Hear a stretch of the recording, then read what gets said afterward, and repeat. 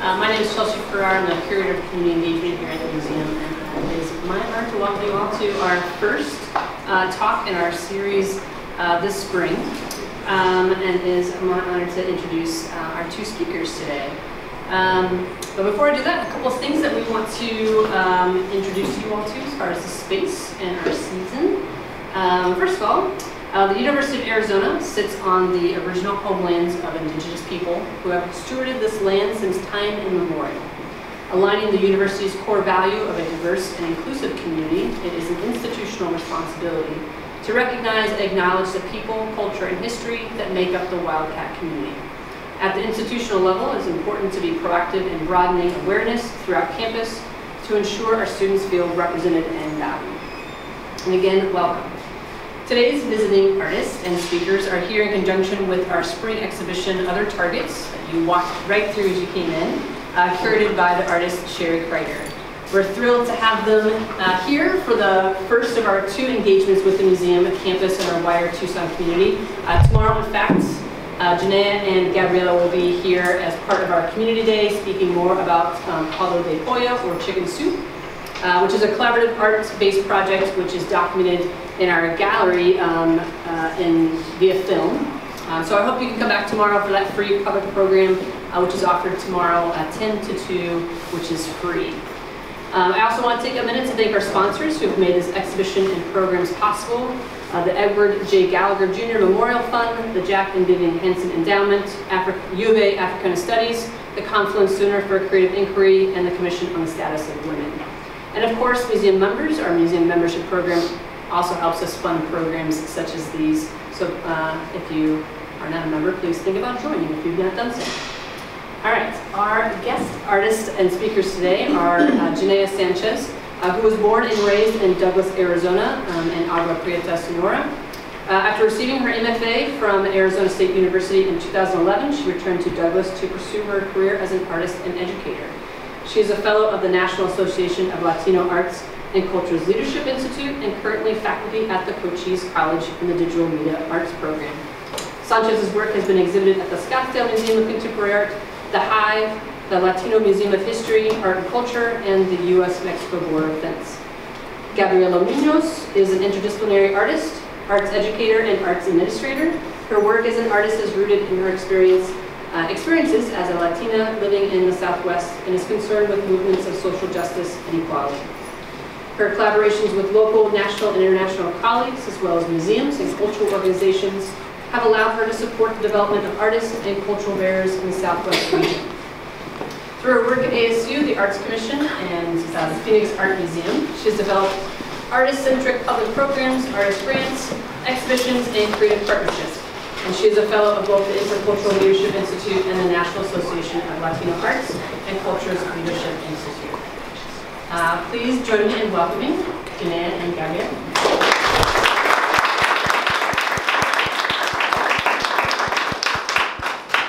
Oh, thank you so much, Chelsea. And I want to thank the museum, the University of Arizona Museum of Art, for hosting us and um, showing our work on your beautiful walls and your beautiful floor.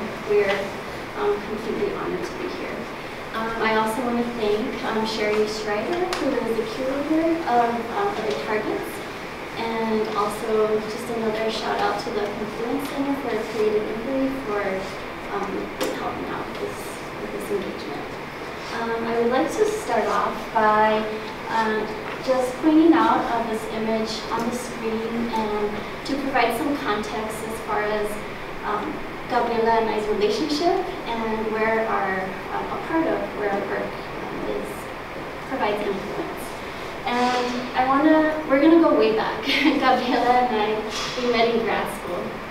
And one of the reasons why I think um, we connected not only with our minds but with our hearts was because we were crossing paths and are leaving traces in the same areas um, in our childhood, which is in Douglas and Prieta, Sonora.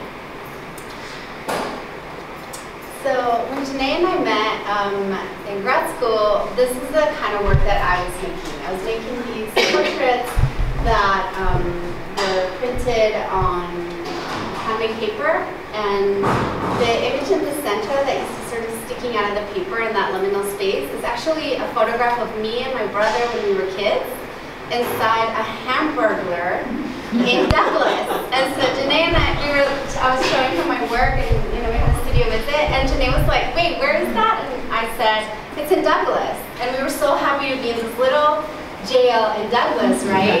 Um, now, at the time, my family and I still lived in Mexico. I grew up in Chihuahua, and we actually uh, didn't immigrate until I was 13 years old.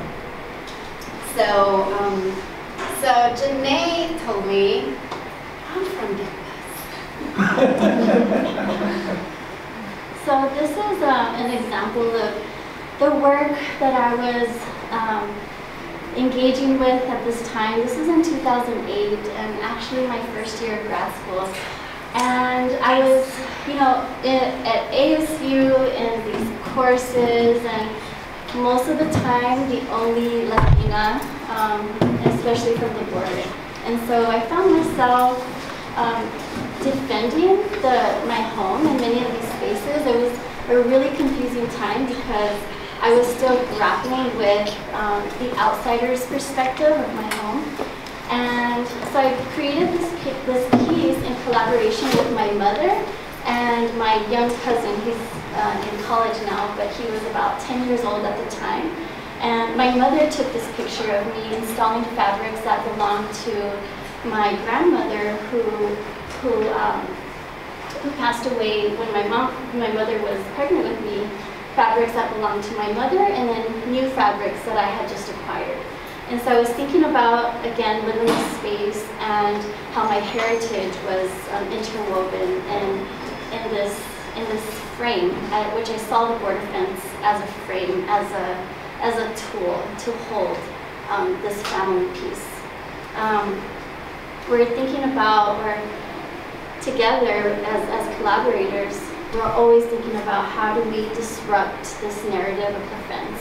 And it was relevant then, it's been relevant for decades, and it's definitely still very important to, to us as artists and individuals who have such you know, important ties to the borderlands. Um, so something that was so moving to me when Jenea talked to me about this work was that she was changing the purpose of the border fence, of that structure, for that period of time while the cloth, while the cloth was on it, right? So it wasn't a barrier. The, the primary purpose was as a substrate for that for that performance and for that um, for that kind of intervention into the object itself.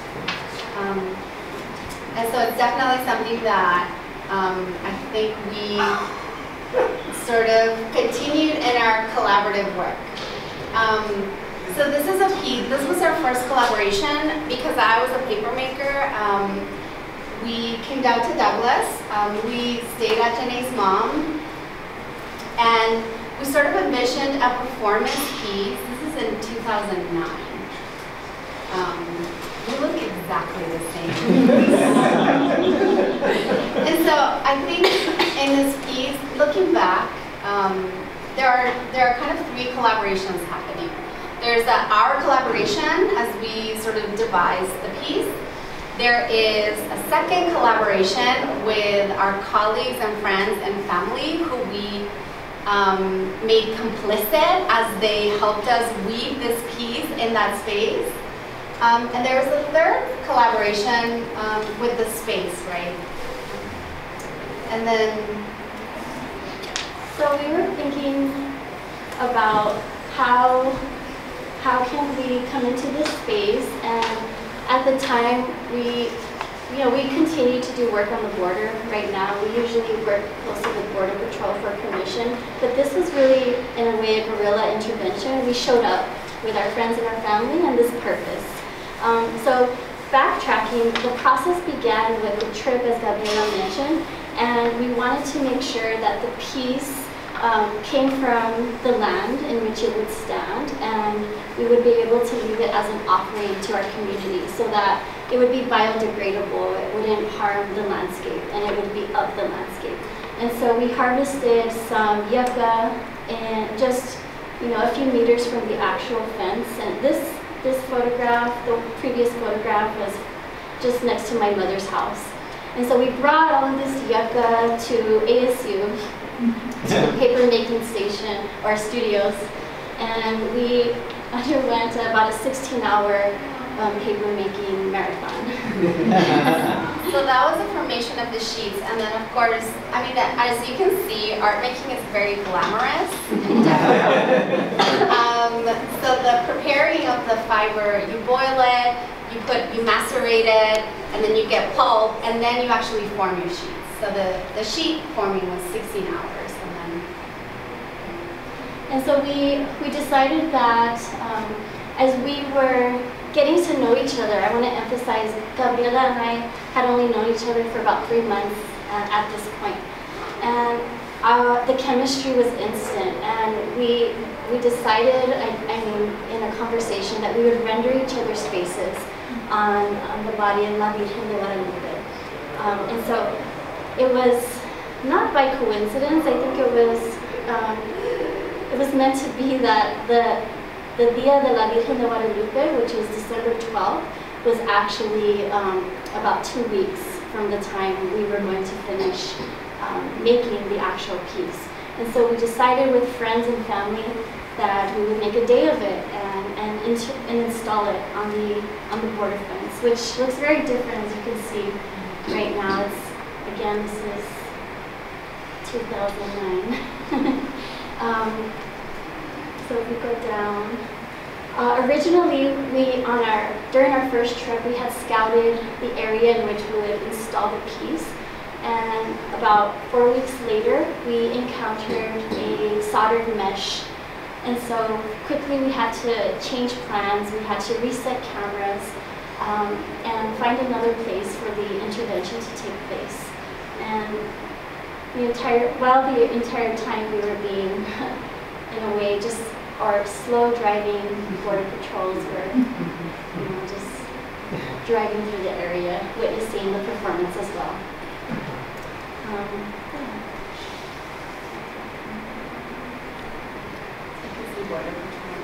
But they were actually really, I have to say that I was really freaked out because I had actually been undocumented for about probably 10 years. And I've only recently come out as having been undocumented. But um, I, ha- I was a legal resident at the time, um, but my residency was conditional. And so I was actually really freaked out because I was like, oh my God, I don't want to get deported for doing this piece on the fence. So uh, like the chickens that we recently cooked, I was like, let's cross to the Mexican side. So uh, we were on the Mexican side of the fence, and then Jenea's family remained on the U.S. side of the fence so that we could collaboratively weave the piece together. And th- those choices were made just strategically. I did have family members that couldn't cross to Mexico, and so we just we had to really strategize. Okay, who can cross? Who can't cross? How can we get this done? Um, another thing, um, as as far as collaboration goes, we don't have photo, we don't have documentation of it, but if you we can see a more detailed shot. The sheets of paper are sewed together. Gabriela and I, neither of us know how to sew. and so Gabriela's parents stepped up to the occasion. So that was another, you know, layer of our collaboration and we were just so ecstatic that we could get this piece done on time um, and then transfer it to my family, right? That would then help us install it and complete the project.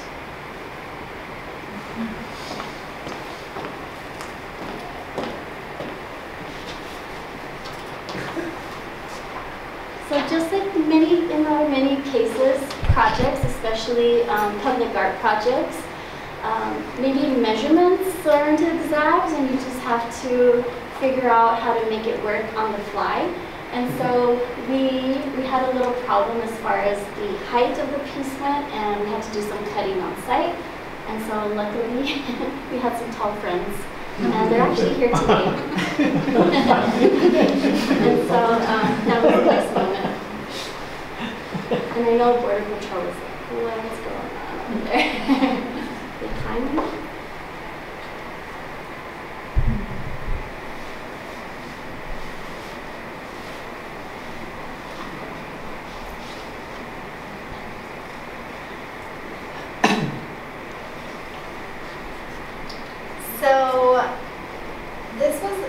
sort of an extension of that project. We were actually um, very honored to invited to exhibit the piece um, at the Joseph Gross Gallery, which in many ways um, sort of um, the the part that was really moving to me was that the the curator felt that the the installation, that the performance was um, at that time, right, as a grad student, that it was worthy to, en to enter into this beautiful, like, institutional space? And so uh, John Michael Warner, um, who hoisted Jenea and one of the images, also curated the exhibition here at the Joseph Gross Gallery. Um, I think it was maybe, I don't know, judging by Jenea's pregnancy, maybe eight or nine months later. um, so my father is a welder, and together he and I welded a structure together to kind of replicate the structure of the fence. Um, we wove the piece onto the structure and then we sewed the, like, we hand sewed the sheets together so that they would, it would sort of hang on itself. And then on the walls, um, we installed document, images documenting the, the site-specific installation of the piece on the board.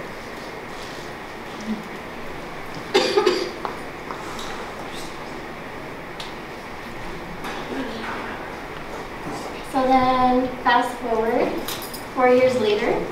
So Gabriela and I took a little break, but we collaborated in other ways in our, in our um, you know, professional capacities as teachers and as community organizers and as artists. And, and so in 2015, we, we began thinking about how do we respond to the climate, especially the political climate in our communities. Um, so as you know, the 2016 election was full on, and we decided we want we wanted to work with uh, women in Agua Prieta and create a wall.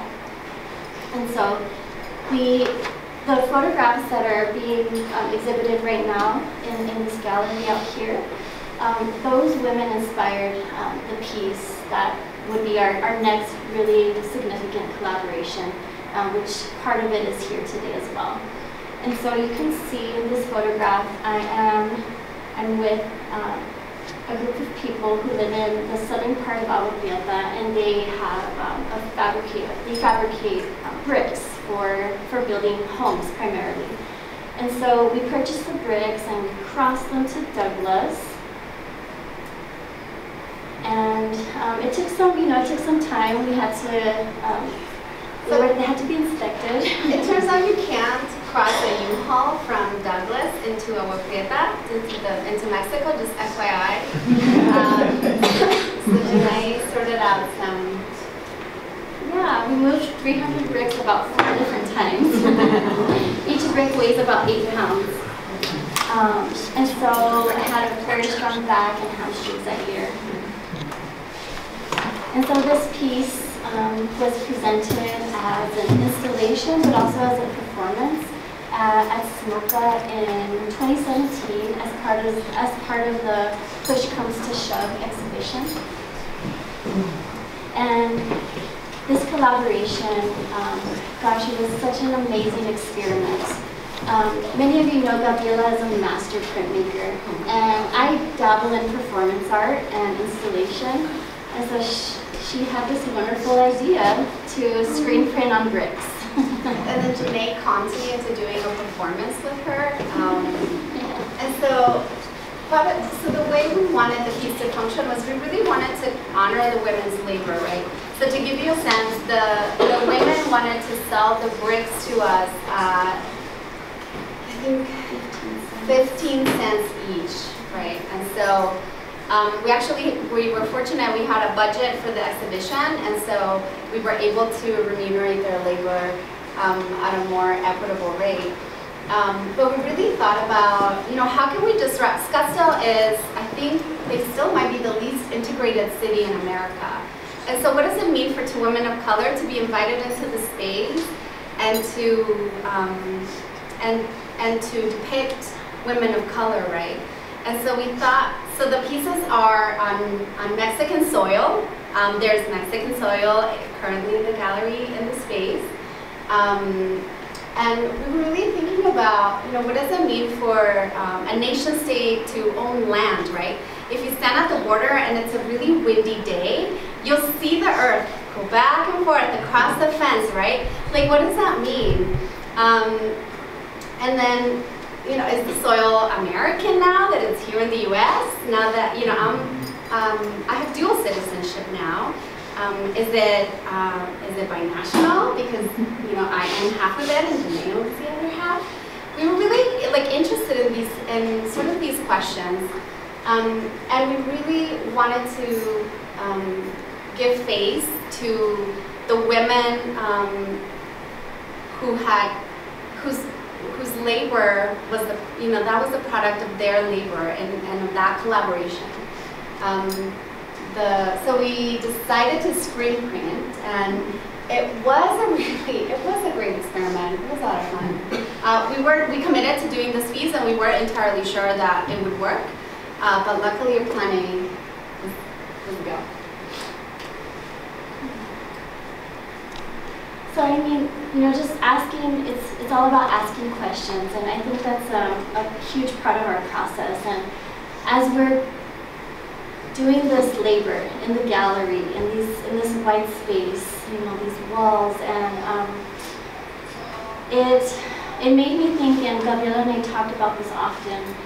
Who owns labor, right? Especially when labor comes from another place, and what type of laborers are are accepted um, into a nation state, as, as Gabriela mentioned, and so grappling with these questions um, as we are building the wall, our own wall, we wanted to make sure that, well, we depicted the portraits um, in a way that was horizontal because the women of Villa Prieta, they, they run a center uh, in a building that they built themselves. They built the adobe bricks and they made it happen.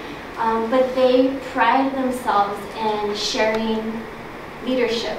And so the, the center is all about uh, you can come in and learn something. Um, if you want to teach something, we would love to learn from you as well. And so it's such a fluid space that not only welcomes women and children, but anybody who wants to come in and learn English, learn how to learn about permaculture in the desert, learn how to sew and knit, um, and beyond. So um, the, the structure of the fence, uh, the plan again was to take up space in this way uh, in the gallery at SMOCA. So I think we constructed the piece over the course of two days. Um, I think it was two five or six hour days. Um, we, um, we sort of started unpacking the bricks and installing them and the, the portraits sort of started to reveal themselves. And the whole purpose of making the performance a, part, a visible part of the exhibition was really to, um, for that manual labor to be honored as part of that process.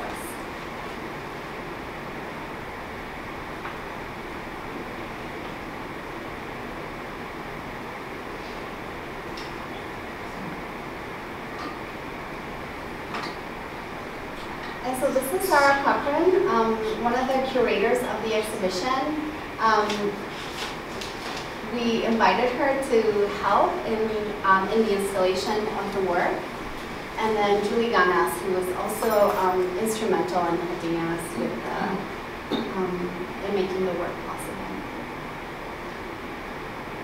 And this is what look like in that space. We're doing pretty good because we have like a hundred images to show you today. So we'll get through it. 2018. 2018. Okay, so a year later, a few years um, after the process began with the with labor, uh, we were invited um, to paint a mural on the border in Agua Prieta as part of the Dreams Across Borders initiative, which is a program that is run out of the Douglas Mexican Consulate's office. And so they do this every year. They invite artists from Sonora and Arizona to paint murals and it's a two-day event. And so Gabriela and I decided we would do a collaboration, and we invited some local artists to join us, including my little cousin, um, who, who has joined us in other projects before. And we decided we would create a palette of, of these waves of colors um, that would depict movement. And we would also render a portrait of a woman in my community. Her name is Diana Monquero. And about two weeks before this mural was painted, she, she attended an event and revealed that she was a DACA recipient. Um, and so she is the only um, woman in our, or person in our community that has revealed, um, you know, this, this detail. And so we wanted to honor the fact that she came out and was public with it and, and just also her contribution. She is a librarian uh, in our community and she she has done some wonderful things, not only in Douglas and Algeta, but, but even for the business community. Her family, um, they own businesses on both sides of the border, and so their roots run really deep. And so it was just a, a hard time for our community uh, in general to, to know that she would, they were as a family, and now we as a community, we, we were going through this, this issue that you know, it's such a national conversation, and then it really um, hit us hard, right, right, right where uh, in our own homes or in our in our own um, places of business. And so this was a our you know small gesture uh, as artists. We wanted to say thank you to her for for for being brave and and allowing us to share her story through this through this piece. Um, so it was completed last year. So it took it, it took us two years. And Gabriela and I have been collaborating remotely for almost eight years. Yeah. so um, sometimes, you know. And having children. Yeah, having children in between and jobs. Which is like real for women artists, right? Yeah, I was three months pregnant actually when we saw the piece at Sonoma. Mm -hmm, mm -hmm. So this is an image taken right outside. As you can see, once again, it, this very glamorous lifestyle with me. um, this gives you a sense of the all of the bins that you see in the back contained the the silk screened portraits um, rendered onto bricks that you'll see outside. So it's um, it's a it's I forgot actually how laborious the process was. Um, the the bricks, once they are deinstalled, the bricks are wrapped individually, labeled so that we can remember which brick goes to which portrait, um, and then repackaged. Um, so the honoring continues through all that work. Um, once again, we had an amazing um, collaborators come in to the gallery and help us um, install the install the, the work. Um, yeah, even though the, the bricks are labeled and you know they're organized in bins, it's still a puzzle to get the portraits um, to reveal themselves. And so we were really lucky to have our friends come in and with their puzzle solving skills. Because the portraits are double-sided, first you have to kind of decipher which portrait it is that you're looking, that you're trying to put together.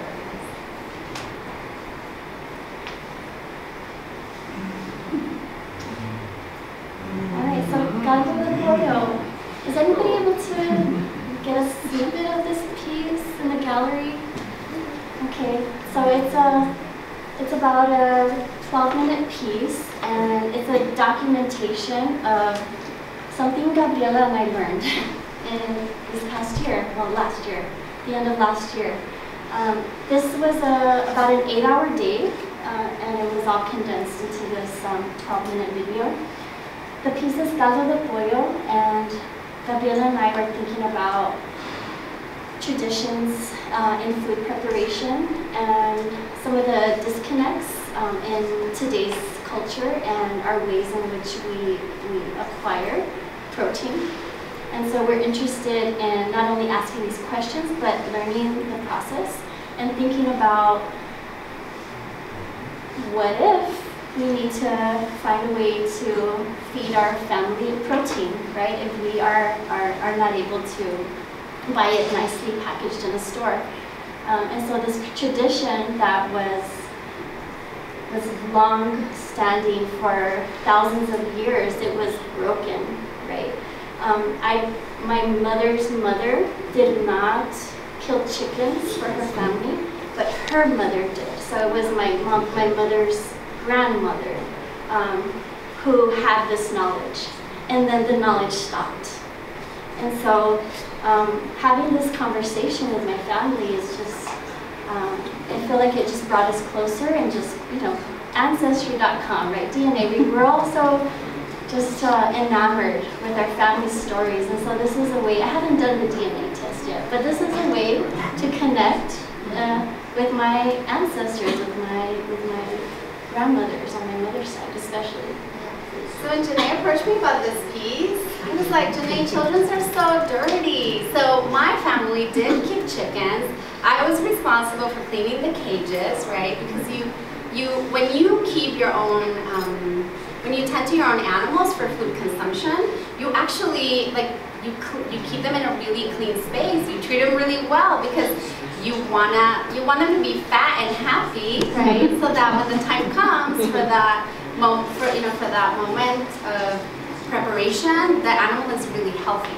Um, and so I knew that we were in for it because I had never done, I had never butchered um, a chicken or a turkey, which my family kept both. They've also kept um, goats, which are really cute when they're little and really mean when they grow up. Um, we kept pigs for a little while, um, uh, but we gave those away at some point. And so I thought, okay, well we're, we're in for it, but, um, but let's do it. And so actually I was pretty selfish because I wanted my child, my, I have a two and a half year old, so I wanted her to do it. And when I was talking to my, I always talk to my, my folks about all of the projects and there was like, I don't get what are you doing now? My mom was really excited and she's like, oh, I want to come along. And so my mom has, this was my mom's third visit across the border in the last two years since 1993 to give you a sense, right? Um, so she was really excited, and I was really excited to share this moment um, with her in that space because Douglas was actually our port of entry. So it is, uh, a port of entry is the border point, the point at the border where you, where you immigrate into a country. And so Douglas Agua Prieta has a special significance um, to me and my family.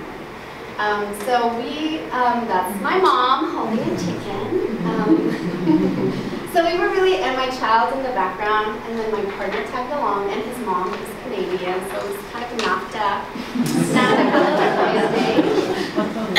um, and the women, the same women, right, that you will see represented in the portraits. That's Rosalina on the right, and Doña Eugenia in the center, and then um, teaching us right, teaching us um, this really kind of beautiful, really kind of, you know, helpful thing to know how to do.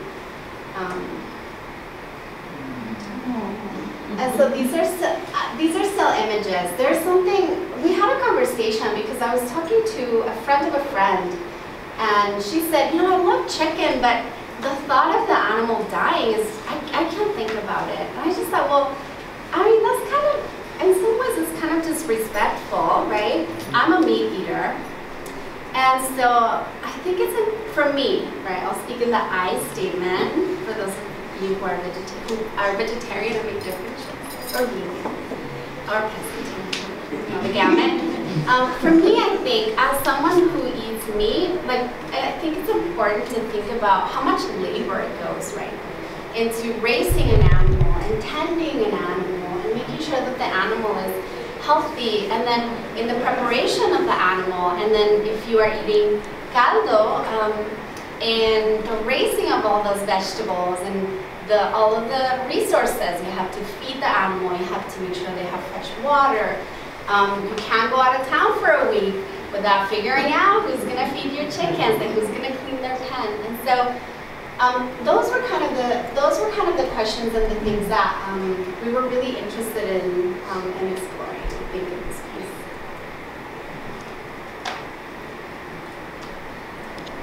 So this was my second time um, butchering a chicken. Um, Doña Hinia had given me the lesson um, about a, a, year before, and so and it was part of a, my my own research and, and project uh, associated with the portraits outside.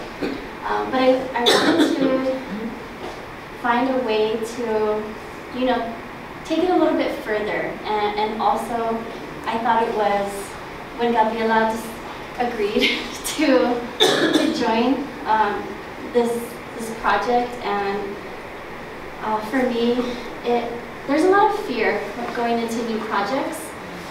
And it's been that way since the first time I put a piece of fabric on the fence. You know, there's just, am I going to get in trouble? Am I going to faint? am I going to cry? What is my, what are my children going to think? Um, but what's my favorite part of our collaboration is we hold each other up. We give each other strength. Um, the confidence um, and just being here. I'm terrified right now. Even as a teacher, um, there's something about giving a presentation and talking about your own work, but I wouldn't want to do it without uh, a collaborator with Gabriela. And so this was a project um, where, for me, it, it wouldn't have resonated uh, as deeply because bringing in two family stories right? I have my family story associated with food, um, but bringing in Gabriela's family story, it just uh, completely deepens and expands the reach.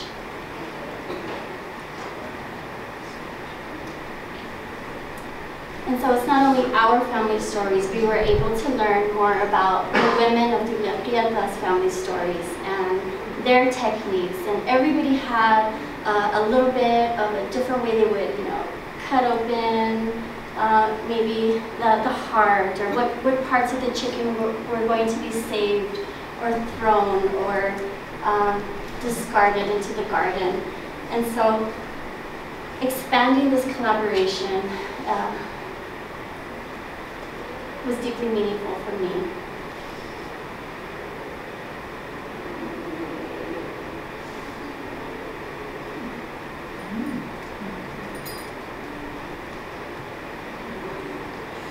Yeah, so then Eugenia was telling us about a specific way that her mom used to prepare um, just this wild um, cilantro.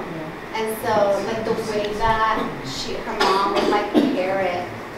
And I didn't catch this at the time because there's there's also like a lot of things happening, right? The images look really kind of composed, but the days are crazy. Like I have my two-year-old running around like in and outside, and we're holding cameras, and we're, you know, there's a lot going on. And Gabriela's mom is holding the camera too. Yeah, my mom was the videographer for a portion of it. And so what I didn't realize actually until I saw the video was that Doña Hinia was retold, my retold Uma the story about the, the I think it's coriander in English, and that's actually my child's hand. So like she was having her, that's Uma's first time using a molcajete. Mm. You know, we don't have one at home. And so I think that just that for me the work is yes meant for public, but in many ways the experience of like of collaboration and of the work and kind of centering allows me to center myself like as a woman first and as an artist second. Um, and that's that's really special to me. Um, because for many years, right, in grad school, um, you hear that, like, if you're a woman, right, don't have kids, you never make work again. Mm. Um, and so making this type of work, I think, has been really empowering and healing.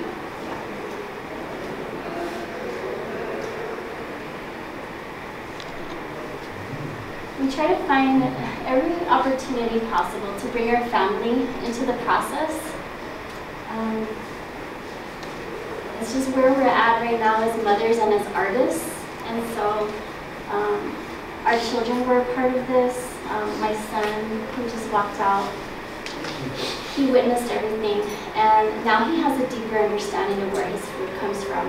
And so anytime he eats meat, um, we do have this, you know, conversation of where it came from. And I think it slows him down, uh, and it slows me down as well as a consumer of meat. And as Gabriela mentioned, considering that labor and that care and that expertise that goes back, right, into into thousands of family stories and generations.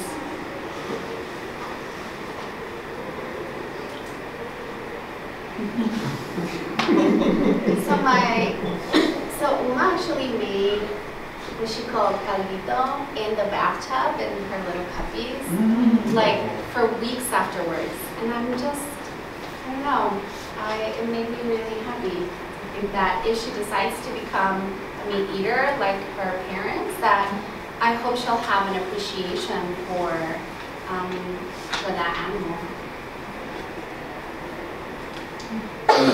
So aside from, so DouglaPrieta Trabaja, right, the Women's Collective, um, with whom we've been collaborating, um, they have, as Jenea mentioned, they have, you know, a center where the women meet, they teach each other, they have a kitchen and they um, teach each other, different, you know, sewing techniques and, and many other things. Um, they also uh, started a, um, a, wood, a workshop, wood carpentry studio. And so alongside the piece, we wanted to have some sort of physical component to the video piece. Um, and the, the video piece um, is sort of, that work is um, kind of a body of work that we started, but that is not, it's sort of in progress. Um, so we, um, we commissioned um, two tables from the, from the shop, and then we rendered some portraits. And in case you were wondering how we did it and wanted to we use projectors. Um, and so you can see those pieces outside as well. And um, on, the, on the second table, we decided to render um, two portraits, uh, a portrait of my mother and my child who were there, and then a portrait of Doña Rosa and Mariana, um, who's always with us. And that's, um,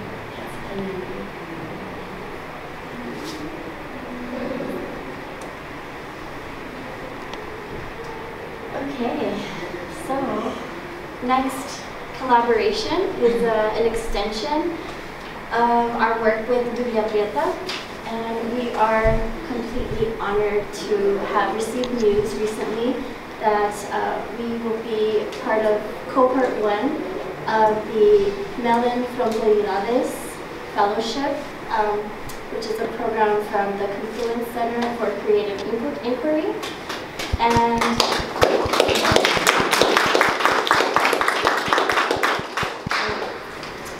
And so you might recognize John Michael Warner, who who lifted up Jenea in 2009 to pat a portion of the tapiz down at the fence. He's a longtime collaborator um, sitting here. And also I just want to say that in many ways, right, the um, so this was a fellowship that we applied to and that in that process, for me, the work begins in that process, right? So the three of us were collaborating and, you know, developing the draft. We, um, DouglaPrieta Trabaja is an equal partner in that collaboration. It's a four-way collaboration. There'll be um, active participants in the program design and the, at the decision-making table of how those funds will be um, spent. And even before that, right, there were letters of recommendation that were written on our behalf. And that's part of the collaboration, right? Those are the folks that make all of all of those folks um, make all of the work possible. Um, yeah. So we'll be working um, all year long up until about October um, in collaboration with the DouglaPrieta. And some of the programming will be uh, in their space in, in Agua Prieta, but also part of the funding will go towards their visas so that they could, they will work with Douglas residents in Douglas on permaculture workshops. And so that is one component, but as Gabriela mentioned, the bulk of the program will be designed, co-designed in collaboration with all of the partners you see on the screen. Um, so funding that goes towards development and process building, I think is a wonderful thing. It's, it's the way I think funding should be thought of. so um, as opposed to us saying, um, okay, you know, women of DouglaPrieta, this is what we're going to do with you guys. Here's, we have money, we have a plan. And so funding to listen, I think is um, the most wonderful thing about this, this project. Yeah, and I think it's something that we've learned from them, right? The, um, they really embody that. Um, it's really peer-to-peer. It's true peer to peer, right? They would never call it that. They would never say we are a horizontal. Um, you know, they would never say, oh, we we do power sharing. It is not a language that they. It's not the language, right? The theory isn't there. The practice is there, which is remarkable. Um, and I think it's something that we've been fortunate um, to learn with them. Yeah. So, thank you so much for coming.